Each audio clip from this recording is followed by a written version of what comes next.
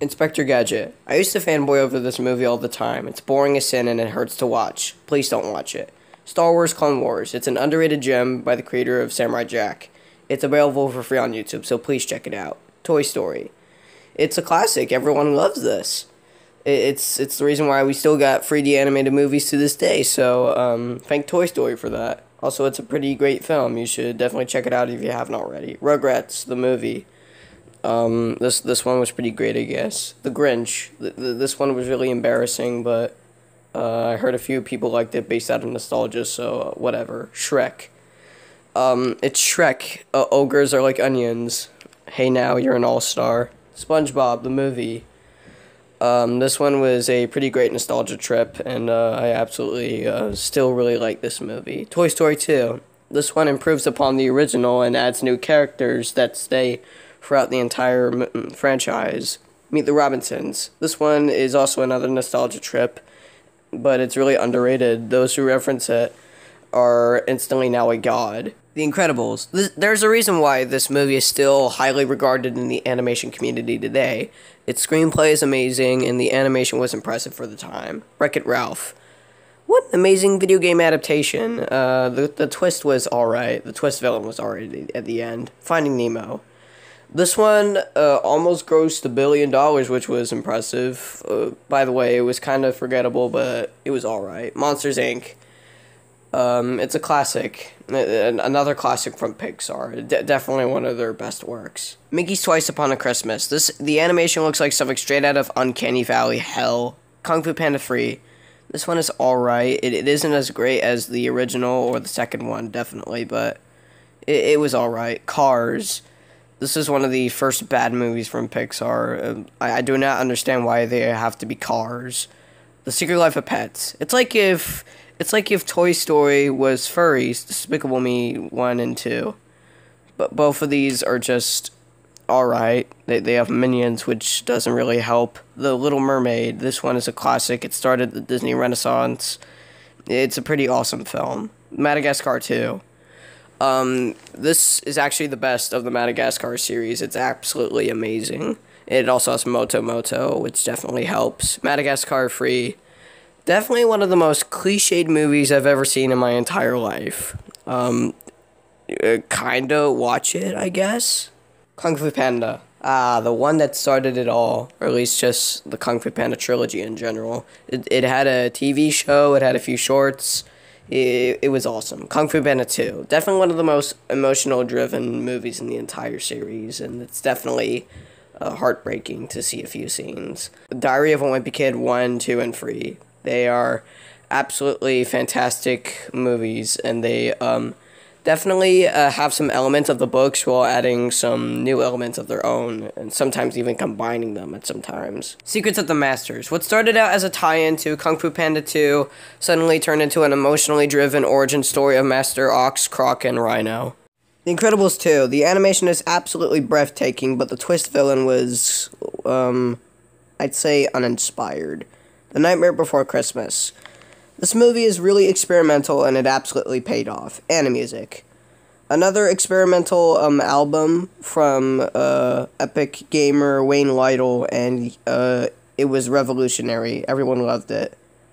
Or at least, um, everyone that I know, at least. The Good Dinosaur. The animation, like I said, is breathtaking, but the story is really cliched. Moana. Um, this one is absolutely amazing. Who, can no no one can deny that Moana is absolutely great, and Tamatoa is the best Disney villain ever of all time, hands down. Don't at me, Storks. Do you want to watch really quirky animation while watching, um, while watching an eighteen-year-old and a seagull, um, uh, yell at each other for about a few hours? Sure, uh, I'm I'm down with that. Sing. Uh, this one tries to like be relatable to teenagers tries to pander to all them boomers and teenagers, but I ain't falling for that. Shrek 2, po- possibly the most perfect sequel ever invented, and the climax is absolutely awesome. The comedy is really amazing. De- definitely give this a watch if you haven't.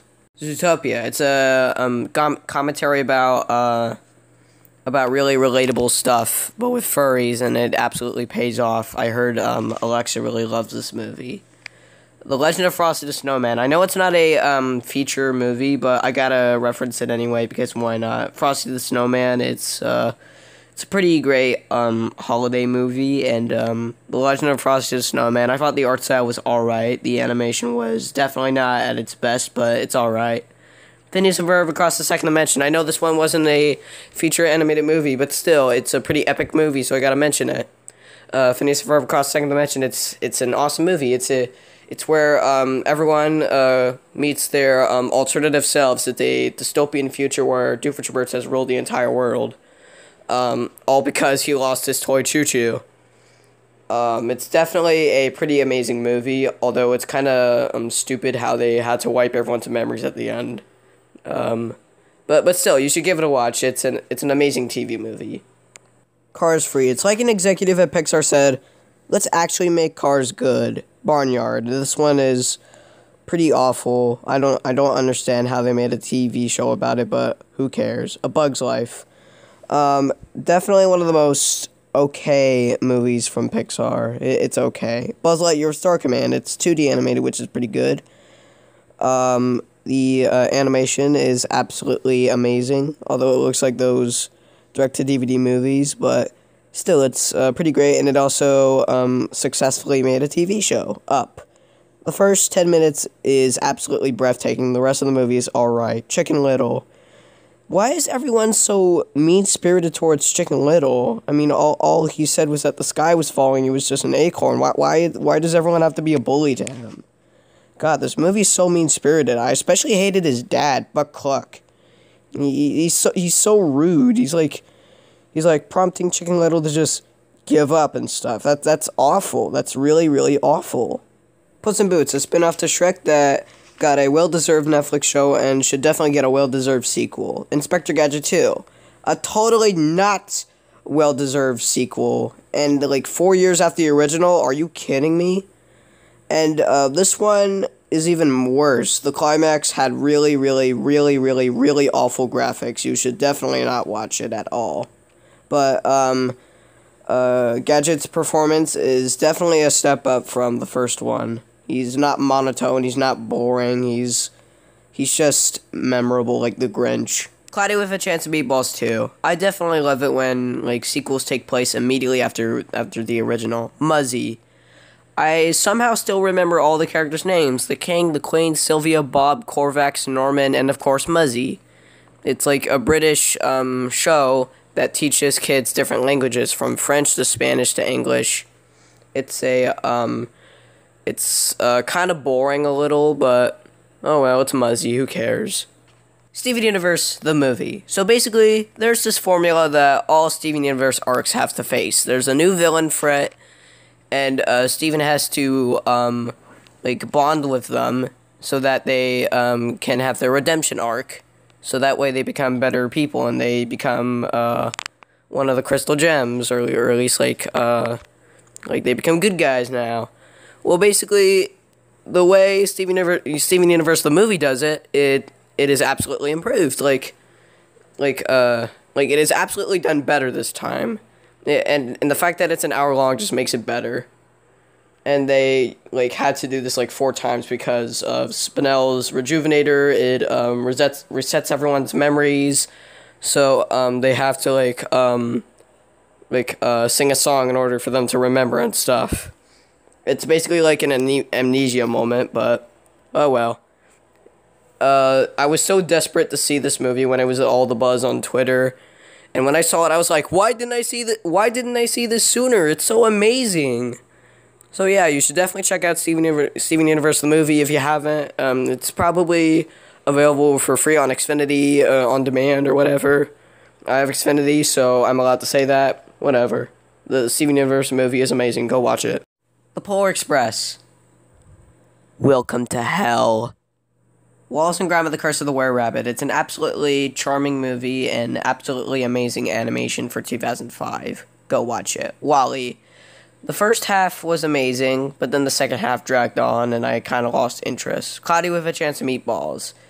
It's a pretty solid, quirky 2009 movie and it's really awesome. Toy Story 3. The ending made you cry, didn't it? Cars 2. It's just hot garbage. Frozen 2. I absolutely hate their marketing decisions. The Lego movie.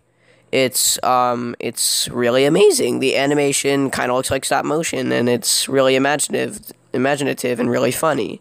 Alexander and the Terrible Horrible No Good Very Bad Day. It's really boring. Don't watch it. Inside Out. Really creative, really funny and absolutely relatable. Like I just moved about like uh 3 months ago, I think and uh, I already want to go back to uh, my old hometown. So yeah, Inside Out is really relatable, guys. Minions. It's just a series of ideas poorly strung together in a in a one hour movie. E.T. I thought it was kind of boring, but then the climax happened. Then it was really awesome. The Angry Birds movie. I thought it was okay for a mobile game adaptation. Animusic 2. Another series of animated music videos by epic gamer Wayne Lytle. It's very epic. Captain Underpants, the first epic movie. You know it's really epic when they say that it's an epic movie. And uh, Captain Underpants is severely underrated. You y'all should read the books and check out this movie and probably watch the Netflix cartoon if you even have Netflix. Robots, another severely underrated movie that's entirely overlooked. Also, Ewan McGregor's in this movie. That's right. Obi Wan is in this movie, you fags. This movie is absolutely epic. All of you should watch it. It is absolutely awesome, and it looks really shiny and impressive. Shiny! Nine. We're saving the best for last here, folks. This is probably one of the greatest PG 13 animated movies ever made. Numero 9. The story follows Nine as he gets as he gets joined by a group of other um Stitch Punks that go from 1 to 8. That's literally their names 1, 2, 3, 4, 5, 6. Uh, ah, 1, 2, 3, 4, 5, 6, 7, 8, and then 9. And then everyone dies except for seven, three, four, and 9. They, um, they are the last survivors of humanity after Germany made robots that killed all the humans. So then they must restore life to humanity and kill all the robots. And and it's a very amazing title. It's like an alternate Germany if they were much more crueler and there wasn't a Hitler and stuff like that. So yeah, check out this movie. It's absolutely amazing. It's produced by Tim Burton. And that's all the movies I can review right now. So peace out, y'all.